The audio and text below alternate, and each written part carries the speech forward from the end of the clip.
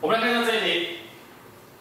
我觉得电解水哈，它的产物负极产生氢气，正极产生氧气。因为水不太容易解离，所以你可以加氢氧化钠或硫酸，或者哦氢氧化钠或硫酸。所以电解氢氧化钠、电解硫酸，它的产物是同电解水都是负极氢气，正极氧气。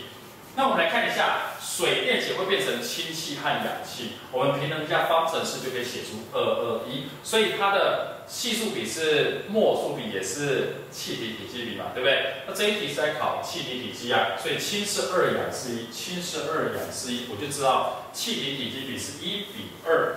所以我们看一下这个选项，甲试管可以得到什么氧气，乙试管氢气才对，然后体积。甲试管的体积是乙试管的一半，所以这样子 B 选项甲试管得到氧气体积是乙试管的一半，B 选项就是对的。有这个观念，这一题我们就可以轻松得分。